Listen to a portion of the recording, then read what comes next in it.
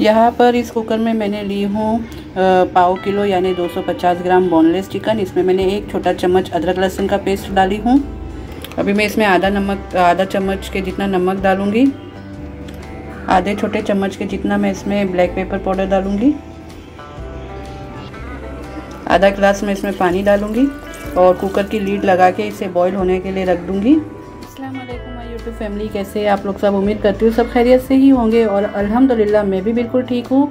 तो एक बार फिर से वेलकम है आप लोगों का रिज ब्लॉग्स के चैनल पे। तो आज मैं कोई ब्लॉग नहीं, बल्कि एक रेसिपी शेयर कर रही हूँ, जो रमज़ान स्पेशल रेसिपी है। जिस रेसिपी का नाम है चिकन कटलेस रेसिपी के लिए जिन जिन चीज़ों की ज़रूरत है, वो मैं आप लोगों के साथ शेयर कर लूँ। यहाँ पर ली हूँ, जिस तरह से मैंने आप लोगों को शुरुआत में बताई थी, दो सौ पचास ग्राम मैंने बोनलेस चिकन ली हूँ, उसे मैंने बॉयल करके इस तरह से श्रेड कर ली हूँ।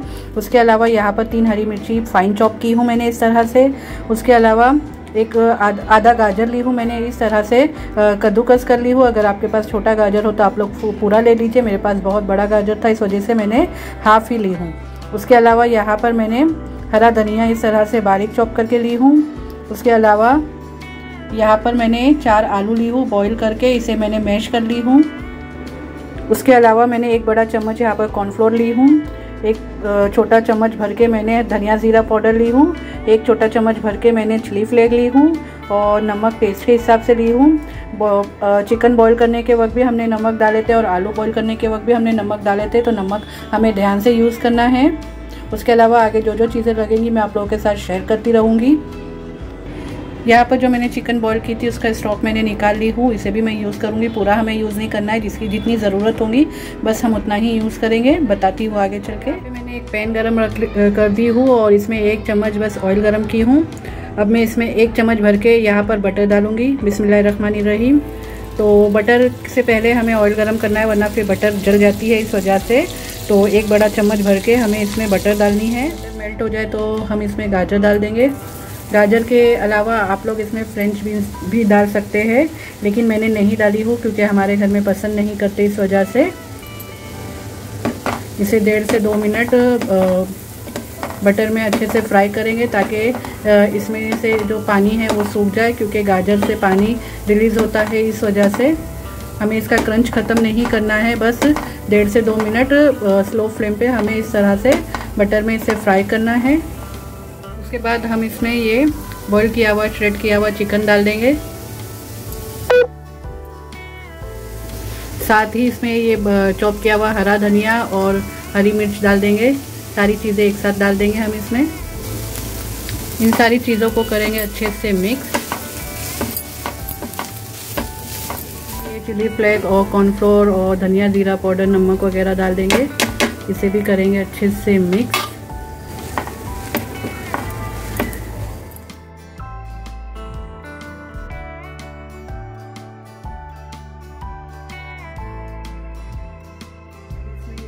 चिकन स्टॉक डाल देंगे। सारा नहीं डालना है, बस आधे कप के जितना डालना है। करेंगे हम इसे मिक्स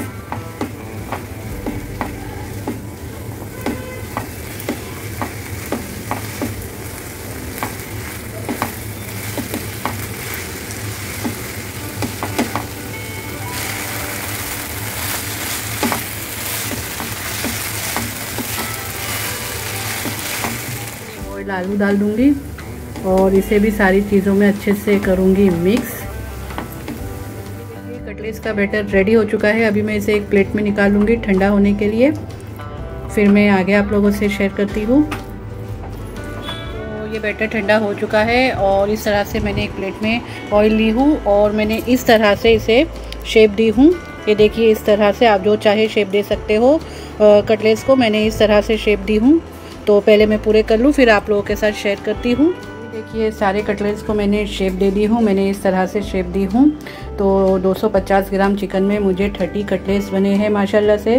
तो है ना ये बजट फ्रेंडली रेसिपी तो इस रमज़ान आप लोग इसे ज़रूर ट्राई करें। उसके अलावा, यहाँ पर देखिए, मैंने दो कटलेट्स इस तरह से बड़े बड़े बनाई हूँ।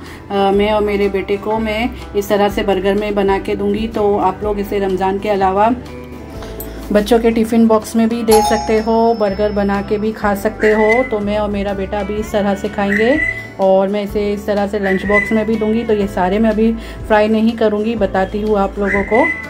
में मैंने दो अंडे तोड़ के इसमें सिर्फ़ नमक मिक्स करके इसे इस तरह से फेंट ली हूँ और यहाँ पर मैंने ब्रेड क्रम्स ली हूँ। ये रेडीमेड ब्रेड क्रम्स है। कटलेस को इस तरह अंडे में डालूँगी, इस तरह से। और फिर इसे निकाल के मैं इस तरह से ब्रेड क्रम्स में डालूँगी। ये देखिए इस तरह से।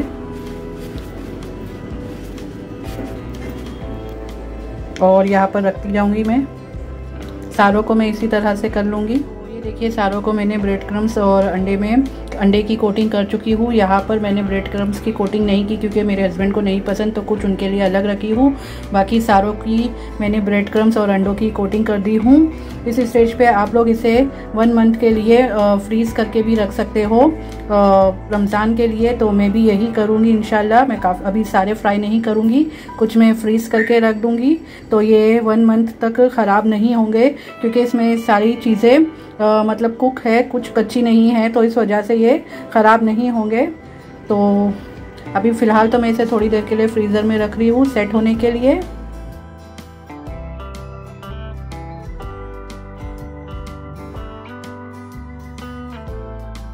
यहाँ पर मैंने पैन में ऑयल गरम कर ली हूँ। कटलेस को निकाल के उस ऑयल में फ्राई करूँगी। आप लोगों को रमज़ान में भी इसी तरह से करना। अगर आप लोग इस तरह से मेरे तरीके से बनाकर फ्रीज़ करके रखोगे तो बस इस तरह से फ्रीज से निकाल के हमें फ्राई करने होंगे।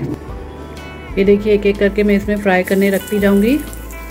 बहुत इजी है इसे बनाना और बहुत कम बजट में बनता है। तो मेरे बोलने पे आप लोग एक बार इस रेसिपी को ज़रूर ट्राई कीजिए इस रमज़ान। इनशाला आप लोगों को पसंद ही आएँगी, घर में सबको इतनी पसंद आएँगी कि इसे दोबारा बनाने की फरमाइश की जाएँगी इनशाला मैं कर दूँगी इसकी साइड चेंज ये देखिए कितना अच्छा गोल्डन ब्राउन हो चुका है, देख सकते हो आप लोग। बहुत ही अच्छा कलर आया है इस पर। और ये ऊपर से क्रिस्पी और अंदर से एकदम सॉफ्ट होते हैं। बहुत ही यमी यमी से बनते हैं ये। इसे आप मतलब पाव के साथ, नान के साथ, या फिर ऐसे ही कोई मेहमान आए तो उसके आगे सर्व कर सकते हो, झटपट फ्रीज़र से निकाल के फ्राई करके।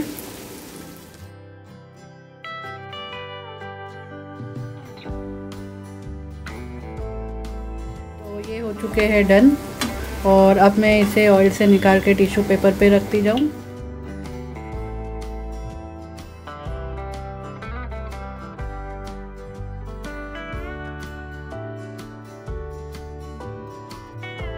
वो कटलेट्स में फ्राई कर रही हूँ जो विदाउट ब्रेड क्रम्स है जैसे कि मैंने बताई थी कि मेरे हस्बैंड को पसंद नहीं है ब्रेड क्रम्स में फ्राई किया हुआ तो मैं उन्हें सिर्फ़ अंडे में डिप करके इस तरह से उनके लिए फ्राई करती हूँ।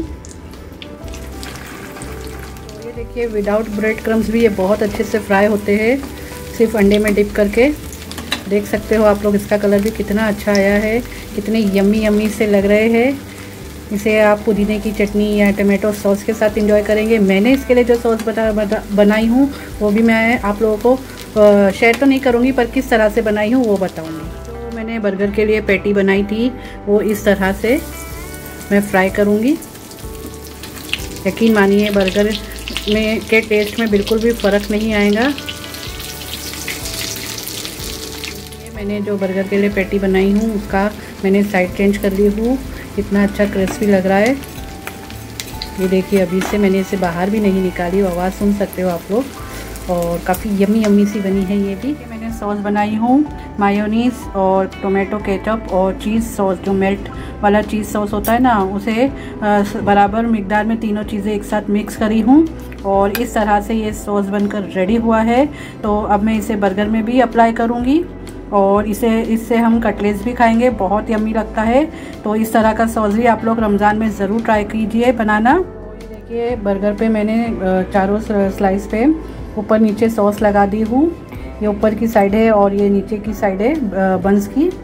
अब नीचे के हिस्से पे इस तरह से मैं टोमेटो की स्लाइस रखते जाऊँगी। इसके अलावा आप लोगों को जैसे कि पत्ता गोभी आता है, वो भी रख सकते हो। और भी जो चीज़ आप लोग रखना चाहे वेज में, वो रख सकते हो। लेकिन मैं सिर्फ़ टोमेटो रख रही हूँ, क्योंकि मेरे पास अभी फ़िलहाल अवेलेबल यही है और यही खाते इसके अलावा और कोई वेज नहीं खाएँगे घर में तो इसलिए मैं यही यूज़ कर रही हूँ। ये देखिए, दोनों पे मैंने स्लाइस रख दी हूँ टोमेटो की। अब इसके ऊपर मैं ये, इस तरह से पेटी रखूँगी।